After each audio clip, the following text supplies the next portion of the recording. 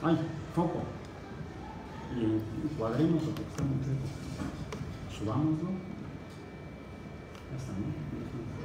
Vamos a hacer un poco.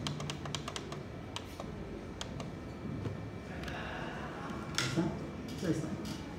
Ok. Foco. Semana 5, 25 de octubre, ciencias paranormales, espectros, adivinación. PR significaría percepción remota. Hay de dos tipos, la que es a distancia y la que es remota. O sea, bajo el influjo de telequinesis, buenas y malas vibras. Eh, es bueno darle una leída a estos dos capítulos de ese capítulo 5, Nightwalkers and Mr. Mongers, Sense and Nonsense at the Edge of Science, en el cerebro de Roca. Reflexiones sobre el romance de la ciencia, por profesor Sagan, 1969. Y el capítulo 12, el fino arte de la detección de engaños de- en el mundo de sus demonios, también por tengo aquí, de. Eh, la ciencia como una vela en la oscuridad, por Carl Sagan, 1995. Eh, después de esto, me paso ahora para acá. Esperemos que haya una conexión. Sí, ok. Perfecto. Ya tenemos ahí entonces. Lo voy a. Vamos a dejarlo así. Es una presentación que preparé para el tema de hoy. ¿Qué tan real es eso en México? En el contexto de. ¿Existen esas ideas en la sociedad mexicana? ¿O las vemos más en la televisión, en los programas gringos que importamos? o no son de cosas, de supuestamente casos que resolvió la policía, el FBI, eh, con la ayuda de un este, medium, este, ah, Scooby-Doo, puede ser medium, large o extra large. Eh, o como es Scooby-Doo, Scooby-Doo en la primera época era muy bueno. Era muy bueno. Casi, eh, eh, eh, también eso ha ido cambiando. Cuando lo originalmente los productores, que eran Joseph Hanna y William Barbera, ya los dos fallecidos, este, la serie tenía mucho de lo que abordamos en este curso. Creo que sería interesante que buscaran la- los capítulos viejísimos de Scooby-Doo y, eh, revisaran eh, cómo están eh, producidos, elaborados escritos en términos del pensamiento crítico. Ya en tiempos más recientes parece que, ¿verdad? no sé, debido a la muerte de los autores originales, pues los que retomaron o tomaron los derechos de esa serie, incluso en las películas quedó medio y medio, pero muchos de los capítulos ya de, de las caricaturas recientes son realmente deleznables. ok. Pues esta es una fotografía que tomé en, eh, en el transporte público, no recuerdo si fue en el Metrobús, en el metro. Les puedo asegurar que no fue en pecero porque yo me inspiro en Botellita de Jerez, un viejo grupo de la década de los 80, ochentero mexicano, underground. Eh, tenía una canción que decía, ya no quiero viajar en pecero porque luego luego me peleo con el chofer. ¿qué voy a hacer? y a la fecha trato de evitarlos. Cuando no hay otro tipo de transporte, pues ni modo. Eh, y de manera discreta, para cuidar los dientes, tomé esta fotografía de manera este, un poco subrepticia en uno de mis compañeros de viaje. Y en, no, ¿qué diario es? Creo que es este, Sí, ah, bien, Del metro. Tú debes en el metro. Dice, es, eh, espectro ataca de noche en medio de la carretera. Y supuestamente esa fotografía. Así la historia. Ya ni la leí porque el señor se bajó en las vistas. Nomás le voy a sentir esto le digo, compre su periódico.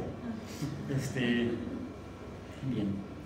Bueno, eh, parecería que sí hay ese tipo de intereses en algunas personas en México y de hecho también encontré esto, un taller de radiestesia básico el 28 de junio de este año en el colectivo Wixari, no sé qué sea eso. Taller de introducción a la radiestesia usando el péndulo, uso de diferentes tipos de biómetros, aplicaciones prácticas, introducción a la kinesiología. Oh.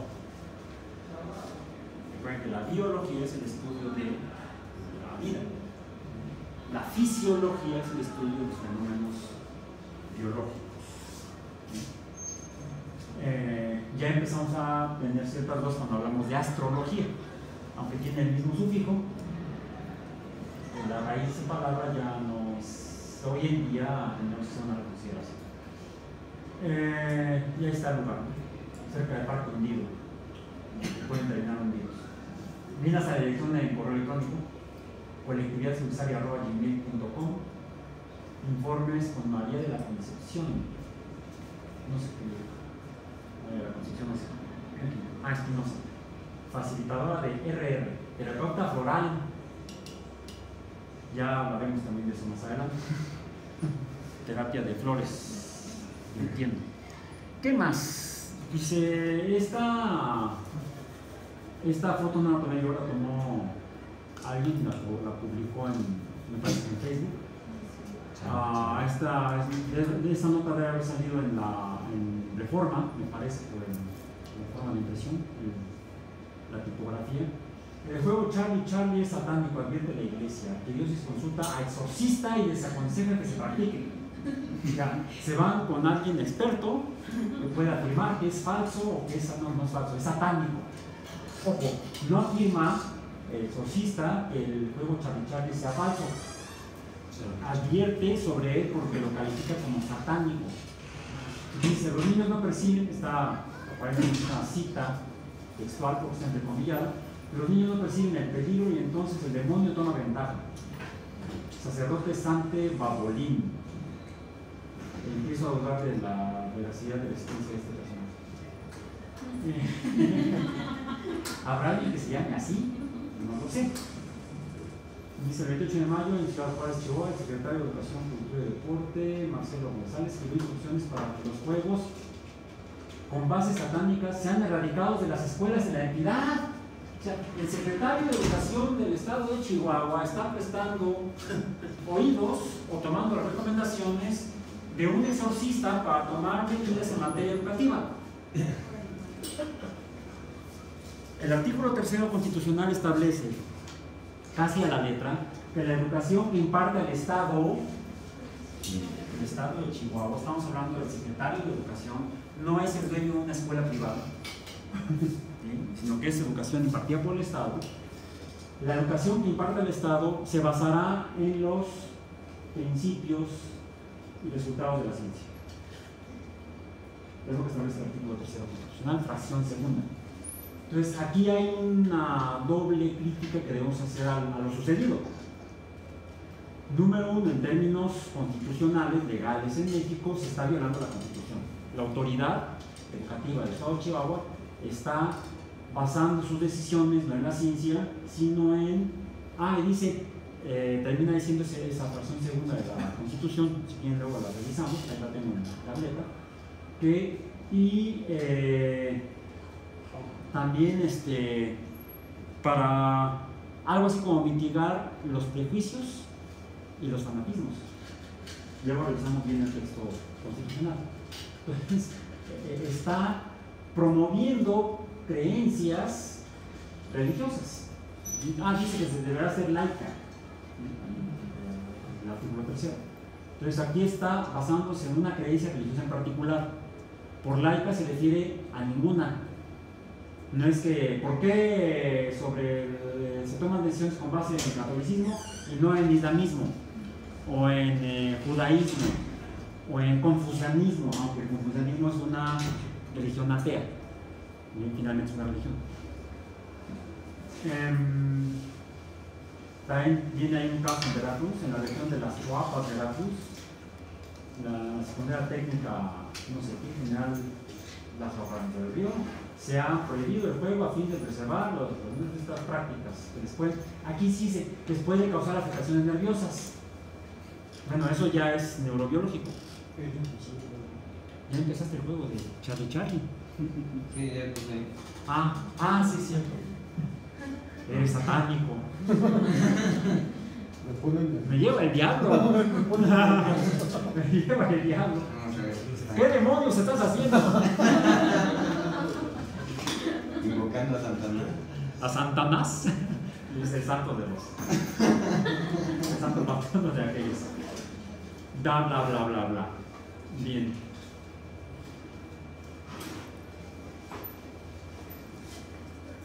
A veces no es tanto que se, a- se- se- se acuda a pensamiento mágico religioso, a veces se acude a,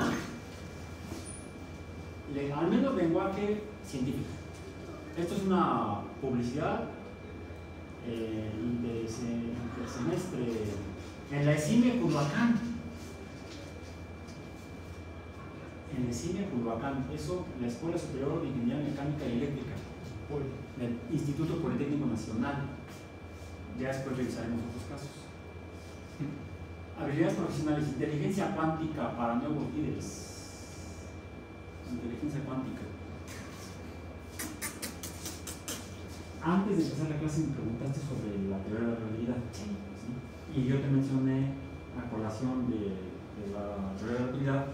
Esta se postuló posterior a, la, a la, a la- a la postula- a- al planteamiento de la teoría cuántica del comportamiento físico de la materia, que lo explica a escala atómica.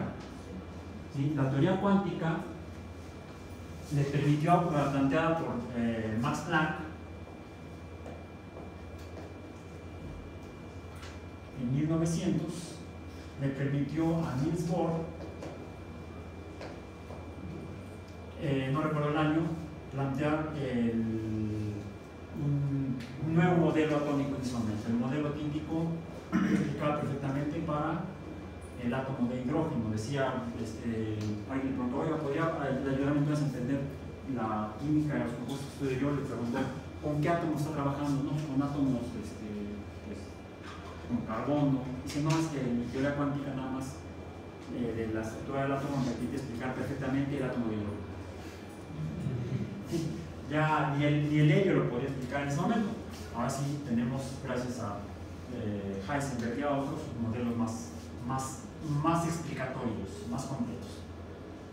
Entonces, la teoría, la teoría cuántica,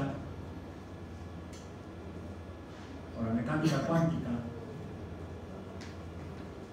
de Max Planck, lo que explica, lo que ayuda a entender es que el átomo, en el átomo de hidrógeno el electrón se encuentra aquí y no puede estar aquí ni acá, se encuentra ahí. Si estuviera en otro lugar ya no sería ese, ese electrón ni sería ese átomo. O sea, se encuentra en una región con una energía, con una cantidad de energía específica. Se refiere a cantidad eh, discreta, es el término, energía.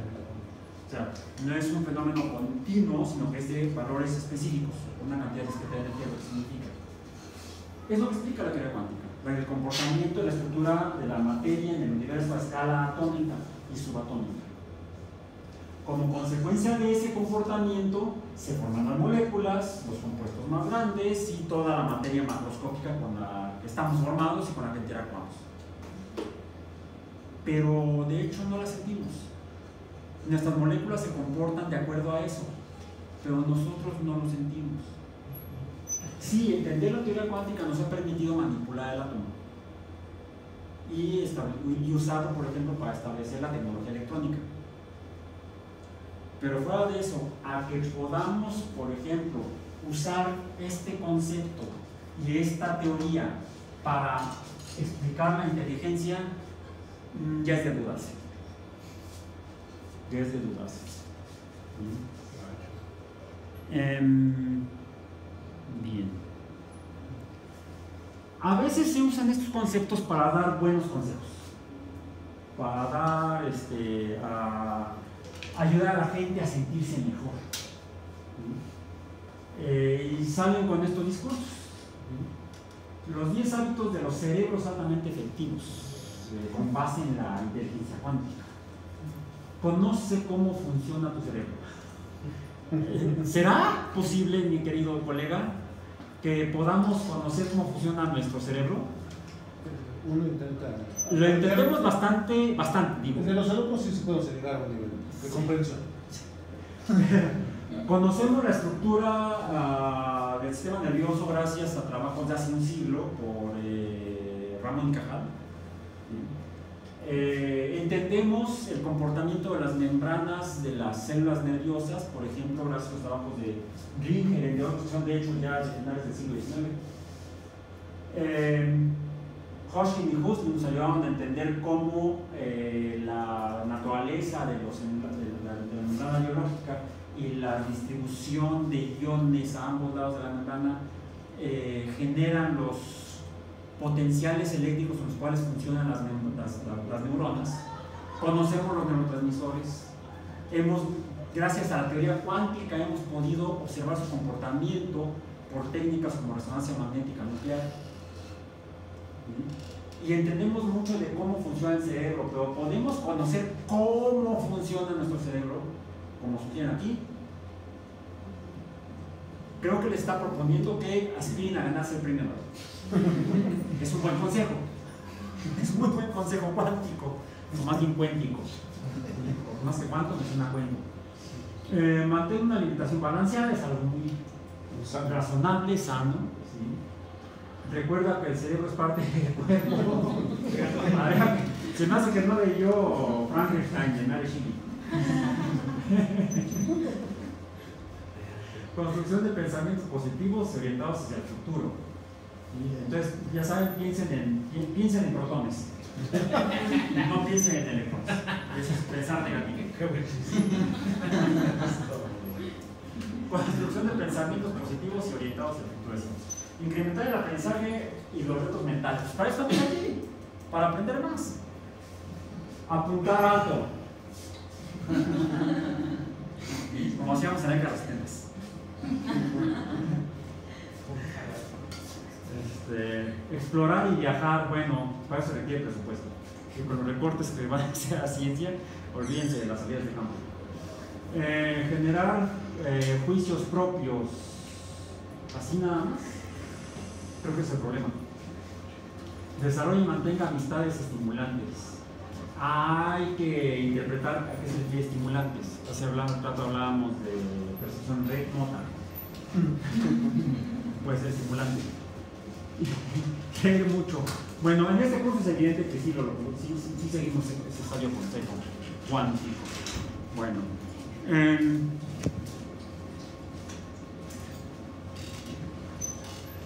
ok.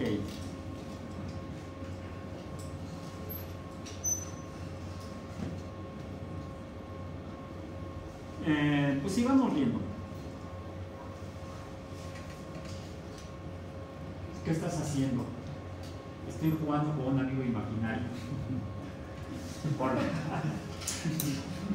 las raíces de números negativos son números imaginarios. Ya, a veces, a veces sí podemos imaginar cosas, pero sabemos que, como bien nos dice la siguiente lámina, pues hay relaciones que son imposibles.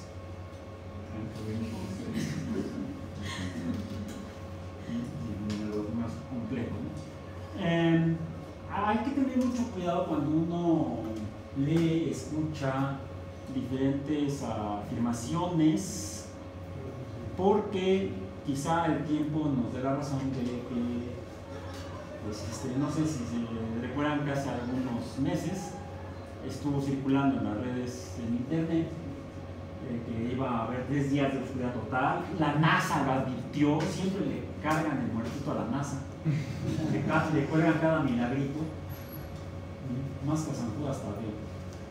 Este, finalmente no, no hubo tales tres días de oscuridad. Bien. Eh, y sobre todo una de las principales fuentes de esas eh, afirmaciones eh, son precisamente en Internet, para bien o para mal, eh, los, gracias a la mecánica cuántica, teniendo electrónica y gas electrónica, se desarrollaron las computadoras, se hicieron redes de comunicaciones antes que las computadoras, redes de comunicaciones eléctricas y electrónicas, se conectaron a través de las computadoras y nació Internet. Bueno, nació, construimos Internet los juntos. Para transmitir inicialmente datos, luego textos, luego comunicar investigadores y luego imágenes, imágenes y textos, audio, de hecho mucha de la telefonía que hoy en día usamos corre a través de internet. Eh, y después audio y video, audio e imágenes, video. Y surgieron recursos como un, originalmente era un repositorio de videos para compartir entre los partes. Así nació YouTube. Después hizo un negociazo. Esos aficionados a compartir videos ahora este, cotizan en cuáles quieren. Eh, pero eh, ha sido una herramienta muy poderosa para compartir información gráfica en video. El detalle es qué es lo que se comparte.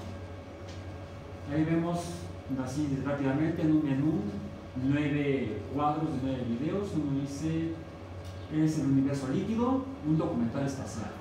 Ya en la sesión pasada revisamos varios documentales y la tarea que quedó intelectual, vamos a decir, no necesariamente son tareas en, en el tradicional y estricto sentido escolar, educativo, o sea, torturas infantiles,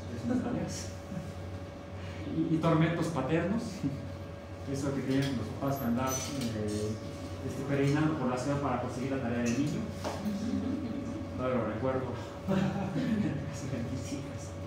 este, eh, no, recuerden que aquí las tareas son intelectuales, eh, sigamos pensando un poco más afuera de lo que estuvimos discutiendo aquí adentro y vimos que hay documentales veraces y eh, documentales falsos. Algunos documentales falsos son falsos falsos, eh, que pretenden ser reales, y otros son buenas bromas. El documental que vimos al final de la sesión pasada, ¿cómo se tituló? El lado oscuro En español le pusieron el lado oscuro de la, de la luna. El título original en francés es. Si no está en el cuadro ahí, en los, en eh, créditos. Eh, ese, es, ese es un falso documental que se publicó, no, salió al aire en televisión francesa el primero de enero de 2002, creo, si me equivoco no me equivoco en el día, porque en, en, algunos países el primero de enero, el primer día de, el primer día de abril, es el equivalente en la cultura latinoamericana cristiana al 28 de diciembre. El Día de los Inocentes, de los Santos Inocentes, el día en el que nos gusta hacer tontos a los demás. Le conocen a este como el Abril Tonto, Abril de los Tontos, el Día de los Tontos, en la cultura anglosajona llaman April Fool entonces eh, fue un documental falso para simplemente a ver quién se traga el engaño y muchos se rieron, otros se lo creyeron. Muchos creen que lo que se afirma en el documental antes de los créditos es cierto. En los créditos, en esos cortos, al final vemos que los, los entrevistados están riendo. Entonces, ah, eh, nadie le dijo que tenía que memorizar el guion. O sea, está escrito para que parezca real y la supuesta conspiración norteamericana de eh, alunizar. Sin embargo, si vemos ahí, este, eh, vemos, eh, hay videos disponibles, hay documentales, hay reportajes en revistas que al estilo de este de acá, este de aquí, astronautas rusos mueven en la luna. Por ahí otros dicen que nunca fueron a, la luna, ¿no? dicen el descubrimiento de humanos en Marte. Entonces, ¿cómo sabemos que es estas cosas que nos ponen a través del arte de, la exposición es cierto o es falso. Pues en día, bueno, si tenemos tiempo, terminamos nuestras clases, cumplimos con las tareas escolares obligatorias reales y podemos, no tenemos que perder el tiempo, digamos, es, es un divertimento, como quizás las notas este, periodísticas anteriores, como esta de acá, a lo mejor simplemente era una nota, esa no es tal vez patética.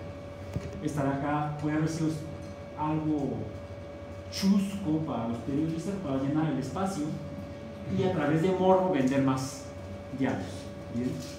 Esto es una nota seria, trágicamente.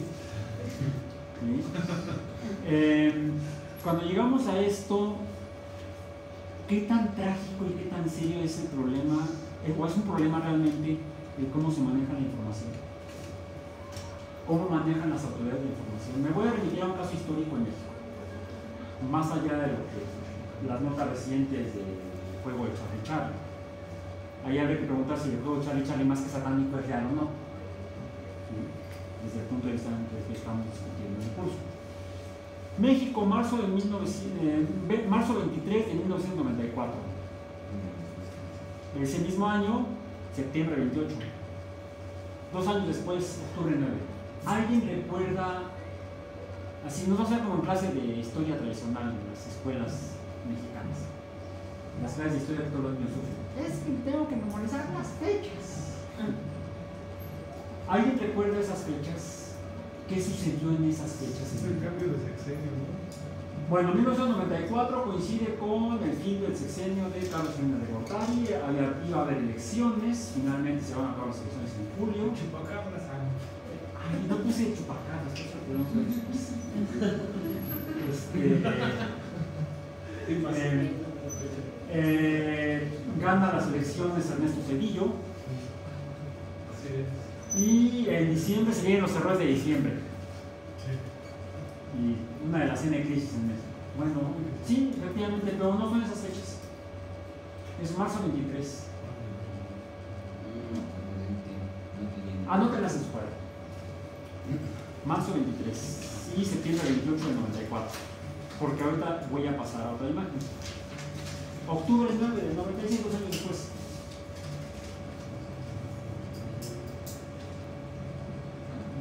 Ahí están las imágenes. Marzo 23, el asesinato del Leonardo Colosio.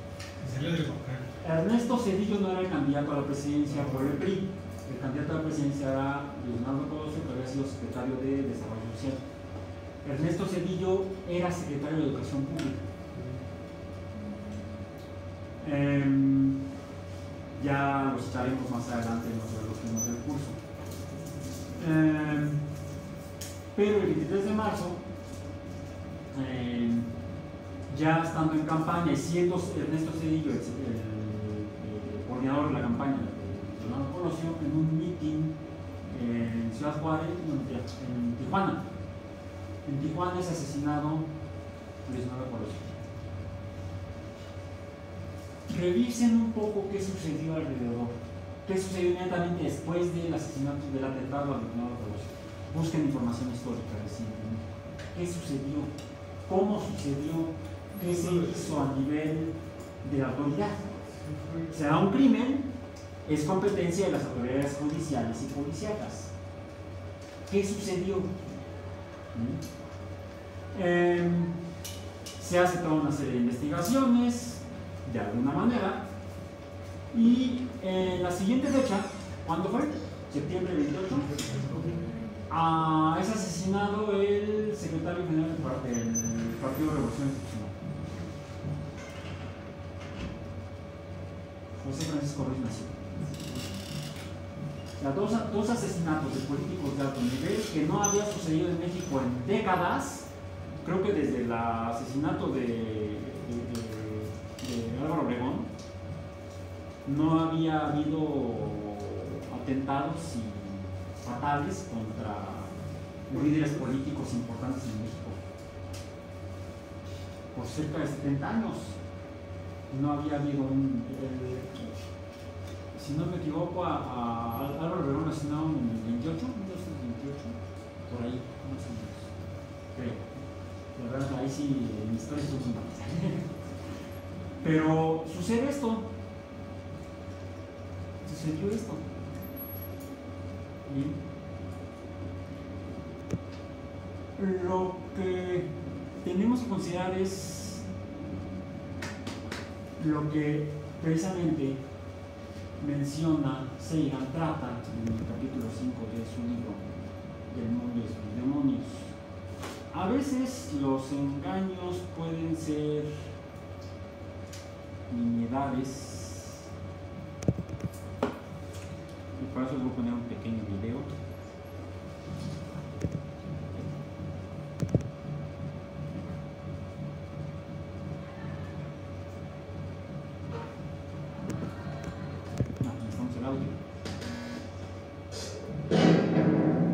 There's an old saying, what goes up must come down. We all know that. It's common knowledge. But is their common sense always that reliable? Well, we're about to find out. What's up, guys? Welcome to the magical circle. All right. So, uh, so your common sense uh, is telling you that something's about to happen. Yes, you're not sure. We didn't tell you anything. It's not prearranged. So um, I have here a half dollar. Please examine it. You can examine the handkerchief. I want you to examine the magician. Okay, just. So uh, here's what we're gonna do. So I'd like to place a half dollar right the palm of my hand like this. I'd like you to place the handkerchief on top of the coin, just like so. Make sure you can see my skin there. So I don't want you to think I'm pulling up my sleeve. Now, obviously, your common sense is telling you that that coin is definitely underneath my hand. It's not because we just put a cloth over it that I did anything tricky, correct? Let's take it a step further. Can you reach underneath the cloth and feel in my hand? Make sure the coin is still there. Yes? Yes? Definitely still there. All right. You? Yeah? Watch this. Watch carefully. Here's what I'm going to do. I just shake it like this. Tight, tight, tight. The coin should disappear. Now your common sense is telling you that there's no way. We're just as square as possible. Can you slowly pull off that cloth? Has actually vanished completely. So uh, let's do it again, uh, except this time again, super, uh, super fair. Here we go. Common sense tells you that this hand is clean and empty. Place the scarf over it. Great. Double check? Reach underneath, make sure. Great. Reach underneath. Sir, reach underneath.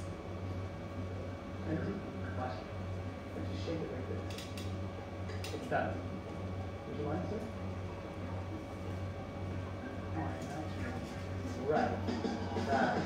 That's crazy. That's crazy. Now, your common sense is telling you that there's something probably else. Antes de continuar, ya os quedan ahí un par de minutitos. Volvamos a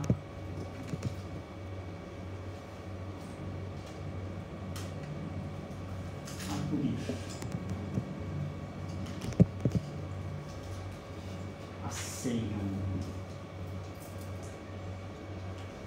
Ok, este es el, lo que habíamos visto. En ese capítulo, en el capítulo 5, nos presenta estas herramientas para el pensamiento crítico. Estas las compartí en el grupo de Facebook, para que no tengan que copiar ahorita, porque como se dan cuenta son varias. Eh, de las pueden tomar. Dice, el pensamiento crítico es el medio de construir y comprender un argumento razonado y con mayor importancia de reconocer un argumento falso o fraudulento. Esto es si la conclusión se obtiene a partir de una premisa y si esta es cierta. Podríamos entonces echar mano de lo que ya revisamos antes de las definiciones de falacias. Eh, ¿Cuáles son estas herramientas? Vienen a continuación. Siempre que sea posible debe haber confirmación independiente de los. ¿Qué es lo que hizo el mago? Si les pide a cada uno por separado que comprueben que lo que está afirmando es cierto. Impulsa el debate sustantivo sobre la evidencia con proponentes conocedores de todos los puntos de vista. El mago no lo ha hecho. Digo, de algo tiene que ir. Bueno, por cierto, entonces no se llama mago. ¿Vieron el título que tenía? Ilusionista. Ilusionista. Ilusionista también, eh, cuando revisamos los, eh, las clasificaciones de falacias, eh, tratamos, mostramos, ilusiones, en este caso ópticas. ¿sí? Los argumentos de autoridad tienen poco peso, en ciencia no hay autoridades.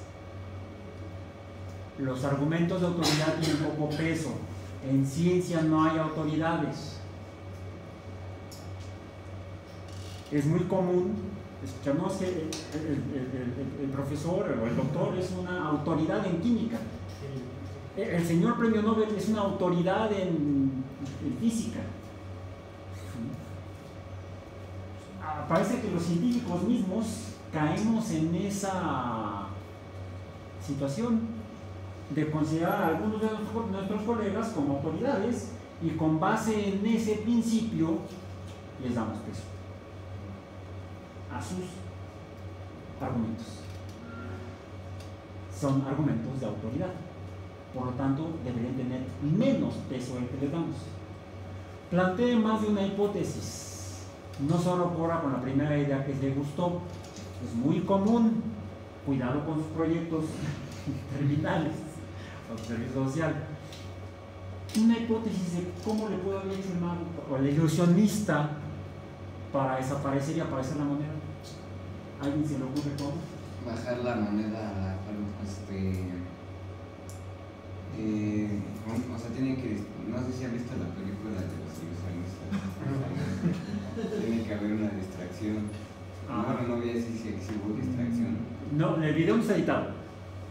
Y eh, la cámara estuvo siempre enfocando a la mano con el pañuelo.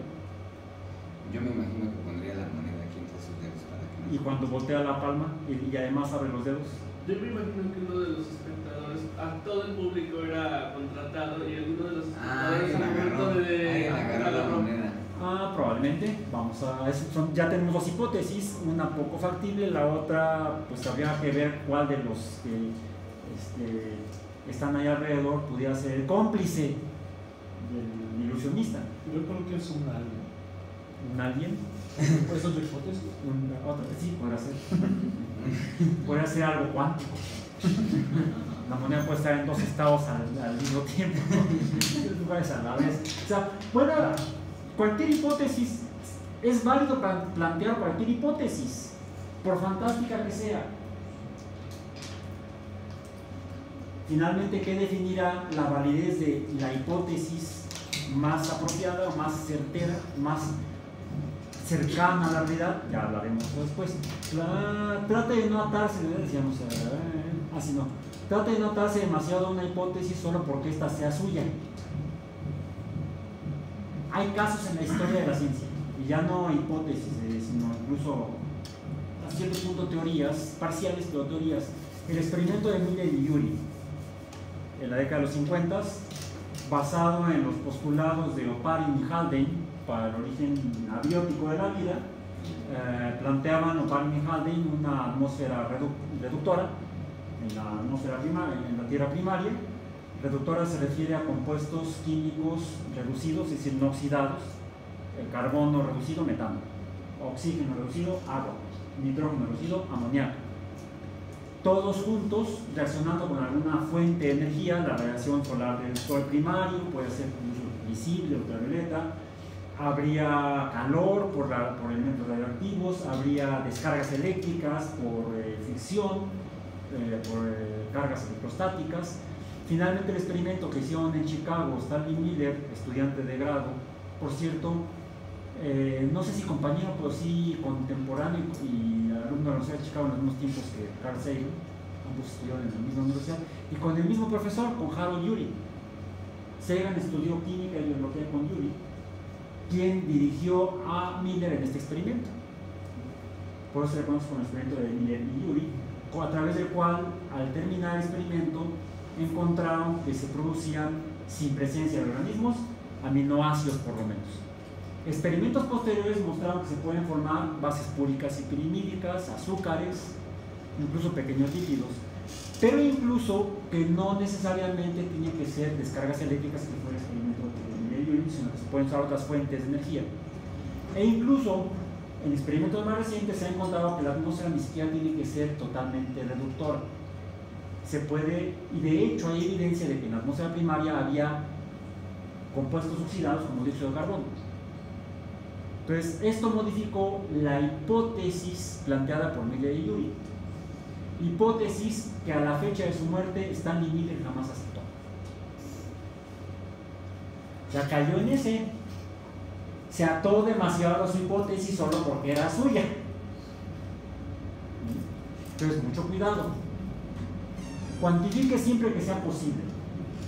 A veces nos acusan a los científicos como exagerados, como obsesivos por querer medir, por querer contar con la pena. Es necesario. La primera observación siempre será cualitativa, pero deberemos, no, la cualitativa ya es una cierto tipo de medición cuantitativa binaria. Hay o no hay.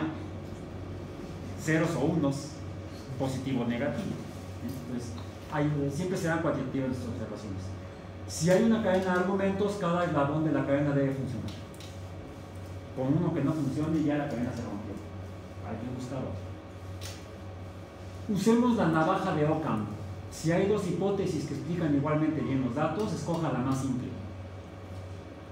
El modelo del mundo de- descrito por Claudio Ptolomeo en el año 150, el modelo geocéntrico, explicaba perfectamente las posiciones de los astros en la bóveda celeste. Permitía predecir eclipses lunares y solares con alta precisión. Permitía predecir la posición de las estrellas errantes o planetas en diferentes épocas del año y en diferentes años. Fue el argumento que está planteado incluso en el texto bíblico evangélico de eh, la señal que siguieron los, ma- los magos que venían de Oriente. Por cierto, nunca dijeron que eran tres ni que fueran reyes. Simplemente eran magos que venían de Oriente. Pueden haber sido dos, ya con eso eran magos. O pueden haber sido veinte. Eh,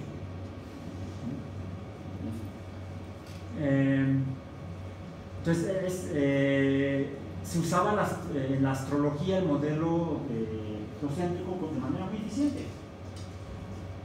De hecho, de manera más eficiente y precisa que el modelo heliocéntrico descrito geométricamente, matemáticamente por eh, Nicolás Copérnico en el, y publicado en 1543.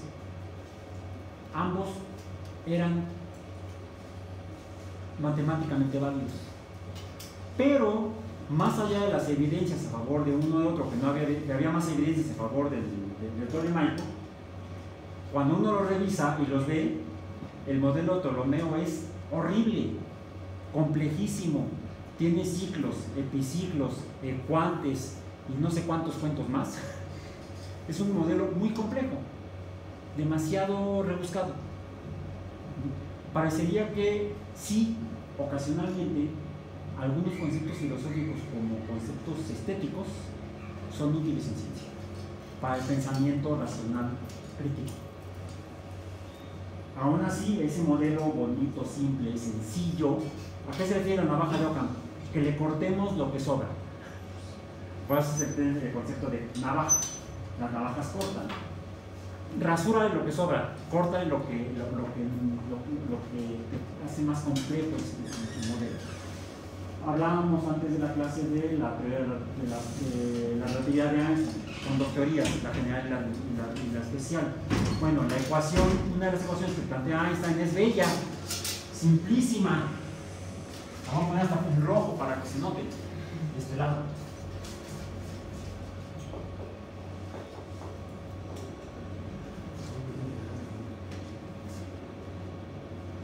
Simple, sencillo. Otra igualmente bella y muy parecida. Y muy válida igual. Por cierto, antecesora de esta. Todavía la usamos para lanzar naves a Júpiter. ¿Cuánto, ¿Hasta dónde tiene que llegar? ¿Cuál es la aceleración necesaria? ¿Cuánto pesa la nave? ¿Cuánto combustible necesitas? Funcionan. Son simples, sencillas.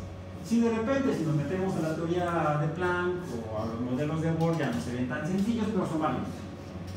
Finalmente, la validez está en la evidencia que sustenta el argumento, no la autoridad. Eh, pregunte si la hipótesis puede, al menos en principio, ser falsa. Se muestra falsa por alguna prueba no ambigua. En otras palabras, ¿es probable? Pueden otros duplicar el experimento y obtener el mismo resultado. Con un resultado que obtenga otro que sea diferente, al no duplicarlo, ya debemos empezar a dudar nuestra hipótesis. Eh, luego cito una frase de Bacon, Francis Bacon, del señor Pancho Tocino. Bacon es tocino. Dejémoslo como Francis Bacon. Vaya nuevo para un filósofo. Puede ser que la argumentación no baste para el descubrimiento de un nuevo trabajo, porque la sutileza de la naturaleza es muchas veces mayor que la del argumento. Sí, lo que encontramos con modelos como el de Schrödinger, con modelos como las ecuaciones de Maxwell, es que sí, a veces la naturaleza es compleja y nada más complejo que los fenómenos de. Por eso, ¿podemos explicar, podemos conocer cómo funciona nuestro cerebro? Pues a la perfección, exactamente no. En mucho ya lo tenemos mejor que hace 50 años, o menos, mejor que hace 20 años, o mejor que hace 5 años. Bien. Estos son precisamente los argumentos que están en la obra El mundo y sus demonios de Carl capítulo 12, El fino arte de detectar engaños. Esa es la receta. Viene en este capítulo algunas descripciones. Eh, regresemos al caso Colosio. ¿Qué sucedió? Pues resulta que efectivamente el día 23 de marzo asesinan al senador Colosio, se empieza a hacer la investigación. Ah, en septiembre asesinan a, a Francisco Ruiz Massieu. Se sospecha una conspiración. Efectivamente es una conspiración, sí, sí se da una conspiración. Pero para resolverla se nombra un fiscal especial, Pablo Chapa de Sanilla. Y él es el que acude a una medium para, en la conspiración se ve involucrado un diputado. Muñoz Rocha se apellidaba el diputado. Desapareció. Desde entonces no se sabe dónde está. No se sabe si está vivo o muerto, fugado. No, no, no se sabe qué sucedió con él. Hay muchas especulaciones. Eh, una, lo que hizo el fiscal, que está ahí arriba en la foto, recibió un llamado de una medium mexicana conocida como La Paca, que le dijo que en un terreno propiedad del hermano del presidente Salinas, Raúl Salinas de Gortari, estaban enterrados los restos de este diputado. Llegaron los peritos de la PGR, de la Procuraduría General de la República, ahí de los peritos disfrazado de científico, uno se pone la bata y ya es científico. Por cierto, ni siquiera tiene cerrada. La bata se usa cerrada, si no, no sirve es para protegerse y proteger también de contaminación lo que están trabajando. Y encontraron una soneta. Salió en televisión, hicieron la televisión en vivo, no sé si la llegaste a ver. Fue una transmisión, se encadenaban los, los, los canales, en vivo estaban ahí todas las eh, televisoras, los, gran, los más grandes reporteros de México estaban ahí presentes, exhuman los restos y ahí están presentando el cráneo del diputado. Salieron las noticias al día siguiente, ese mismo día en noticiarios este, estelares de la noche, al día siguiente en primera plana, y habían encontrado la osamenta, estaba confirmado que era el diputado, y había sido asesinado y enterrado ahí. En ese año yo ya era, tenía ya un buen rato de ser científico, haber, titulado como biólogo, ser investigador en la UAM, profesor investigador. Y no sé si por el chisme, el morbo o qué, o por enterarme de las noticias, vi la transmisión en vivo. Cuando sacan a cuadro eso, lo primero que veo es, ¿qué ven ustedes? ¿Ven algo? Que llame la atención, más allá de la bata abierta del perito. El cráneo, ¿qué le ven al cráneo? Le faltan cosas. Y, o le sobran cosas, digo yo.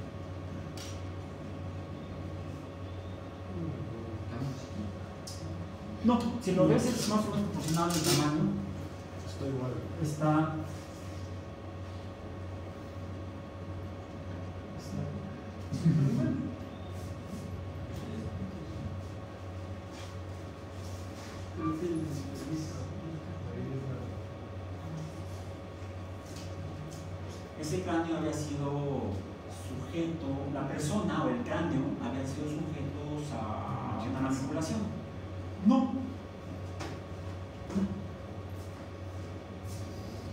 Ese mismo momento, espérenme, ese no puede ser cráneo del diputado.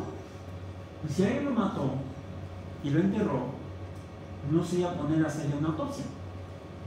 En las autopsias se extraen los órganos y se extrae el cerebro para ver si hay algún daño de algún tipo que haya sido causante de la muerte eh, y se corta precisamente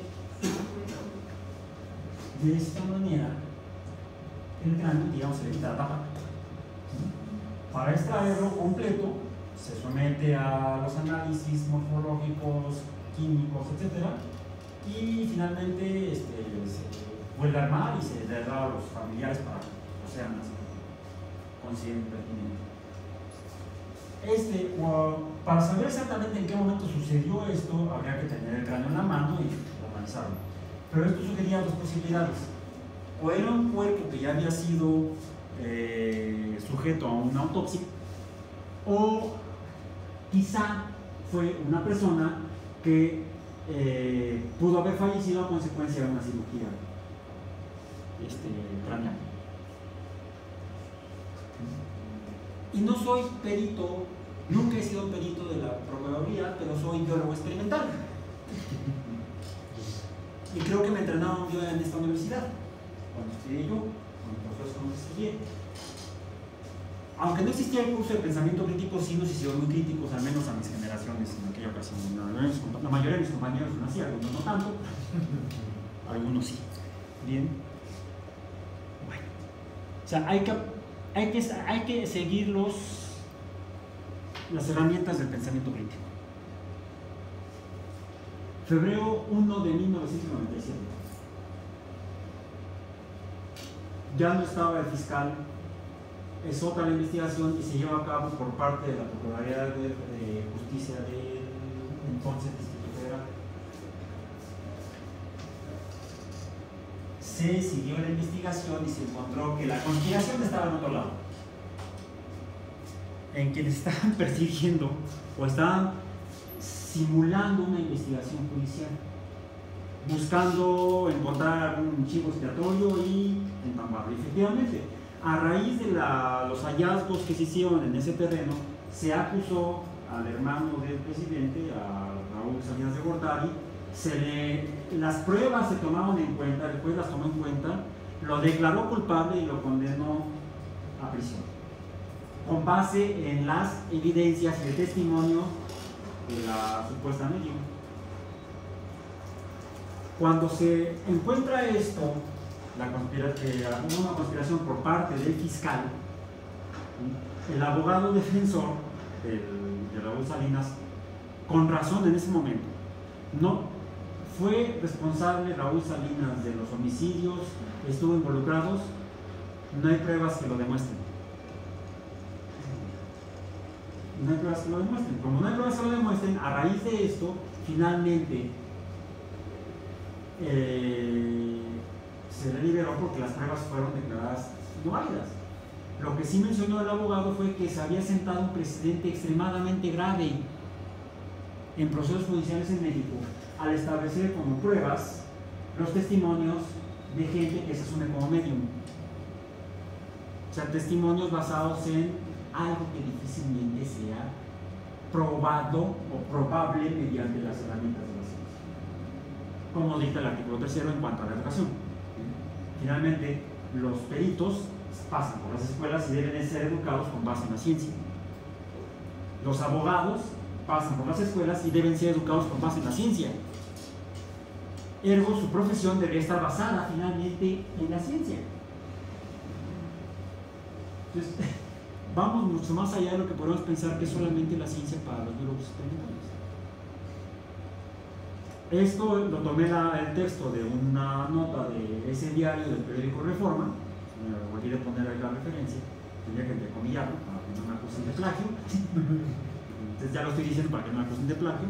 Lo cito de la, de- de- de- la jornada, febrero 1 de 1997, que en la misma fosa donde se, se, se- se averiguó que los restos eran de, me parece que del suegro de la supuesta medium, se investigó de dónde los habían obtenido, fueron a ese cementerio, que es el de aquí de San Lorenzo Tezonco, fueron a la fosa, la investigaron, se dieron cuenta que esa fosa había sido violada y encontraron, así es ese término, hubo una violación de restos humanos, este, eh, al extraer de manera ilegal o abrir de manera ilegal sin autorización una, una fosa es un delito de hecho. Eh, y eso fue lo que encontraron, restos de la familia, dentro de ellos precisamente el, el, y se, afirma, averiguó que efectivamente había sido sujeto a una neurocirugía. Por eso el cráneo estaba cortado. Y fíjense que finalmente en 1997, ya desde la década de los 80, se usaron pruebas de ADN en casos judiciales en el mundo. El primero fue en la Gran Bretaña, por cierto. Un caso muy famoso en esa época fue el caso del este, homicidio de la esposa de un exjugador de fútbol americano y actor de cine y televisión, O.J. Simpson, en el cual se, le pretendió acusar con base en pruebas de ADN. Otra tarea investiguen, además del caso este, el caso de Simpson, en cuanto a el uso de la tecnología del ADN. Finalmente, eh, después del juicio se le encontró not guilty, no culpable. No inocente, ese término en la, en la- en la- este, legal en los Estados Unidos, sino no culpable, como revisamos en la primera en el curso. Eh, ¿Por qué fue que a pesar de las pruebas de ADN se le encontró no culpable a O.J. Simpson? No necesariamente el usar esta herramienta puede ser la prueba que determine la, culpabilidad o no culpabilidad de un. ¿Sí? En otros casos sí se ha usado de manera eh, probatoria y válida este tipo de análisis. En este caso sirvió precisamente para exonerar a Raúl Salinas de los cargos por los cuales había sido declarado culpable y condenado a prisión en 1996. Cierto, el proceso tomó todavía muchos años y fue hasta no hace mucho que finalmente salió de prisión, estuvo más de 3.000 días en, prisión. Entonces, debemos ver que la ciencia tiene límites. Son aproximaciones. Eh, aquí nos lo demuestra el modelo físico de la vaca. La vaca la estudia, las vacas las estudian los biólogos, los estudiosos de las ciencias de, la- de las ciencias biológicas, sus compañeros de la licenciatura en producción animal, por ejemplo. Los veterinarios estudian a las vacas y las vacas se parecen más a la que está arriba y eh, a través de las herramientas de, de- de otras áreas de la ciencia, como en la física, podríamos hacer modelos de aproximación. Podemos hacer una aproximación clásica, una aproximación einsteiniana, una aproximación de acuerdo a Planck. Bueno, ya vemos que tiene limitaciones. ¿no? Ya recuerden el consejo, hay que reír mucho. Sin embargo, sin embargo, eh, esta frase, es- es- esta es, esta es la traducción de la frase de Sager en el libro original en inglés, y sus demonios, uh, Demon Hunted World. Eh, en ese capítulo se termina con esta frase, tengo la firme creencia de que el mejor antídoto para la pseudociencia, la ciencia falsa, lo que significa ciencia falsa, es la ciencia, con todos sus, con todas sus herramientas, con todos sus procedimientos, con todas sus limitaciones. Yo diría, yo diría más allá que Seigan. Yo no tengo la firme creencia, sino tengo la evidencia que me sugiere fuertemente, debemos decirlo, no absolutamente, pero sí de manera bastante firme, que el mejor antídoto para la pseudociencia o contra las falacias está en las herramientas de la ciencia, dentro de las cuales está. Eh, no sé si tengan alguna duda o pregunta al respecto, tenemos todavía tiempo. Ay, nos echamos muy rápido. Tenemos una hora. ¿Algún comentario allá? Alejandro? Hace tiempo cuando yo cursé, hace mucho, Hace tiempo, digamos.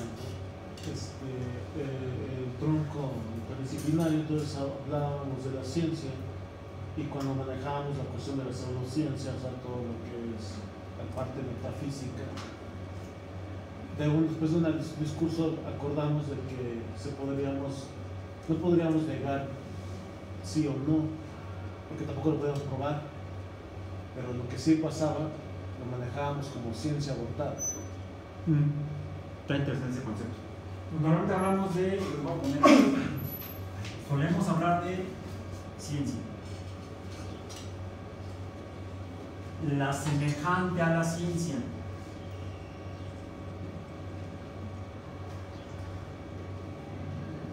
Vamos a más adelante a tocar eh, este concepto en otro de los temas, que es la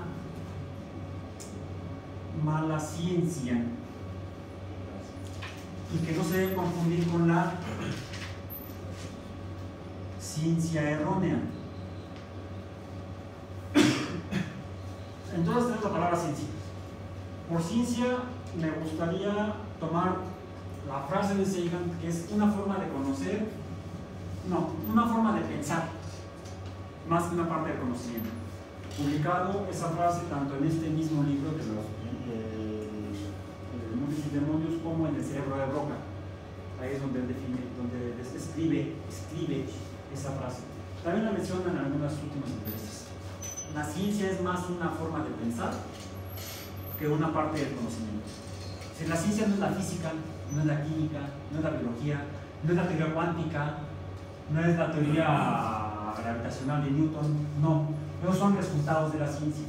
La ciencia es la forma en la que pensó Newton para llegar a esto. La ciencia es la forma en la que pensó y trabajó Einstein para llegar a esto. La forma, la forma en la cual Planck y Bohr llegaron a sus conclusiones que ayudan a entender mejor cómo funciona el universo. Eso es la ciencia. Pongamos de palomita.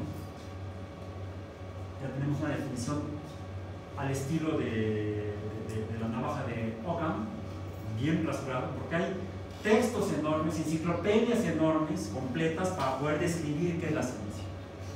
Quitemos lo que sobra, es una forma de pensar autocrítica y autocorrectiva. Punto. La pseudociencia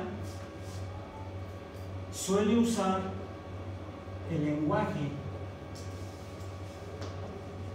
y a veces de manera sui generis, sui generis las técnicas, no necesariamente los métodos, aunque por ahí medio los mezclan los métodos con las técnicas. Eh, es muy común que veamos programas de televisión o encontramos incluso esos videos en internet donde están los investigadores de ovnis, los buscadores de fantasmas, y llevan sus aparatos que detectan campos magnéticos, etcétera, etcétera, etcétera. Entonces, usan técnicas, tecnologías incluso, y usan el lenguaje para afirmar sus conclusiones, para construir sus argumentos. Pero no pasan las pruebas rígidas de la ciencia del contraste independiente, de la verificación independiente. Eh, tenemos han de ser fantasmas. No es ruido electrónico. Sí. Alguien nos está chateando. Es clave Morse. Sí. Del más allá. La mala ciencia, la mala ciencia, yo la ligo con eh, la que se usa para engañar. Ciencia bien hecha, pero que se usa para engañar. Vamos a hablar de ellas más adelante. Cito nada más un caso, un caso histórico. Eh, las investigaciones patrocinadas por la industria del tabaco para eh, desmentir que el tabaco es causante de cáncer, causante directo de cáncer. Por décadas lo hicieron, bloqueando los intentos de las legislaciones en diversos países para limitar el comercio del tabaco, incluso para prohibir. Entonces, eh, la ciencia hecha o patrocinada por la industria petrolera para uh, desmentir eh, los efectos de la combustión de eh, combustibles fósiles, del uso de combustibles fósiles en el, en el calentamiento global y el cambio climático consecuente.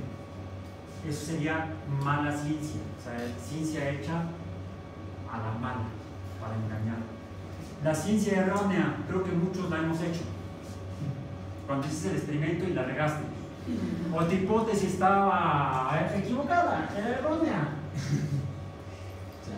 A Einstein le pasó, a Newton, a Planck, a Bohr. No es científico profesional que se respete que no haya hecho ciencia errónea. Huma, uh, uh, errare humanum est. Los humanos metemos la pata. Y algunos hasta acá, hasta la India. Eh, cierto, no se vale hacerla todos los días, sino entonces me puedo dedicar a otra cosa. ¿Y qué definirías como la ciencia abortada? Algo que intentaba hacer ciencia, pero no llegó a formarse y salió. Un poco como la. Bueno, de hecho lo fue, la astrología. La astrología permitió sentar las bases de la astronomía moderna. De hecho, todavía ahorita los astrofísicos utilizan al zodiaco para definir la posición de eh, objetos eh, este, este, en el espacio. Sí, celestes. Usan las constelaciones eh, construidas por los eh, asirios, por los sumerios, por los babilonios, por los griegos. Hablamos del hallazgo de nebulosas planetarias en la nebulosa de Orión. Orión no existe. Es un personaje de la religión griega o greco-romana. No existe, no hay, no hay ningún cazador allá arriba en el cielo. Eh, Orión era el cazador. Pero usamos esa, ese conocimiento, ese mapa del cielo para viajar por el espacio, para estudiar el espacio. Entonces, la astrología, podríamos calificarla ya, la astrología antigua, como una ciencia abortada. La astrología moderna, como una pseudociencia. Revisen cualquiera este, eh, los, horóscopos. Y van a ver que se parece mucho al lenguaje de la inteligencia cuántica. Somos los deseos. Son recomendaciones tan generales que en algo levantan la mano.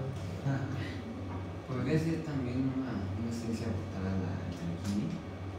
Sí, sí, sí, la alquimia para el caso de la química. Eh, la. mm, ¿Qué sería? En el caso de la biología. ¿eh? La herbolaria en el caso de la, de, de la, La botánica. de la botánica. Eh, Que se limpia con un huevo. Ay, hay que tener cuidado porque se terminan embarrando el huevo. Y habría otra que es un poco parecido a esto, que sería. La, frase la vamos a, tratar de escuchar más adelante, es de Richard Feynman. No, no se refiere a la ciencia como tal, sino al uso de la ciencia, en el cual cabría esto. Pero muchas veces se hace, vamos a decir, por alguna razón moralmente justificable en el momento, pero cuyas consecuencias pueden tener efectos que sean moralmente indebidos, que sean inmorales. Él hablaba del buen uso o mal uso de la ciencia. Richard Feynman trabajó en el proyecto Manhattan para construir la bomba atómica. Él fue una decisión en el cálculo de la masa crítica. Eh, décadas después, eh, vamos a revisar el caso, eh, cuando sucede el accidente de Challenger, es llamado a participar en la comisión para investigación de las causas de Challenger y al terminar y encontrar finalmente la explicación de por qué sucedió para evitar que volviera a suceder, si no volvió a suceder eso, sucedió otra cosa. Finalmente, pues, se retiraron los controladores espaciales de uso. Eh, él, al terminar su participación en la comisión de la investigación del accidente de Challenger, sí fue un accidente, luego lo vamos a, a revisar. Eh, él dice, este, en este caso fue un buen uso de la ciencia para descubrir por qué sucedió. Entonces, esto nos lleva, nos da entonces la pie, el pie para poder continuar en próximas sesiones de, hablando y discutiendo sobre el pensamiento crítico con base en ciencia, no solamente para la ciencia, sino prácticamente para la vida cotidiana. Entonces, por hoy terminamos.